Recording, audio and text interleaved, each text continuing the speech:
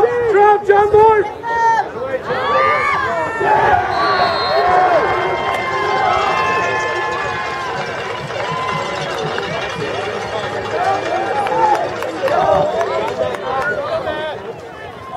Goal by number 24, Tim Papal.